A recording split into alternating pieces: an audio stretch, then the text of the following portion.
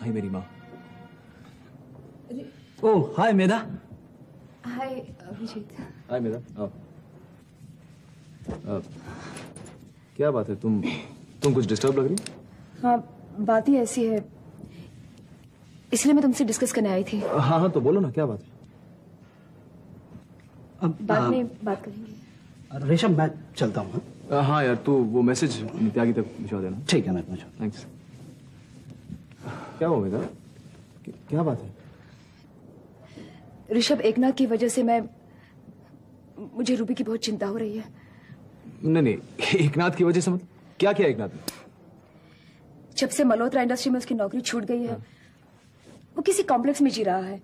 Ruby से शादी करने का वादा तक नहीं कर रहा। उसे ऐसा लगता है कि उसे कहीं और नौकरी मिलेगी भी या नहीं।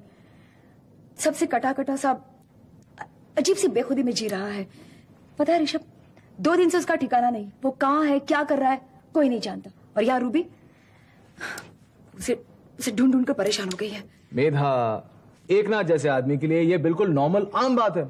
तुम उसकी बिल्कुल फ़िक्र मत करो, वो मेरी ज़िम्मेदारी है ओके भाई, मेरे होते हुए अगर एक नाथ को भटकना पड़ा है नौकरी के लिए तो मेरे लिए शर्म की बात है। You don't worry hmm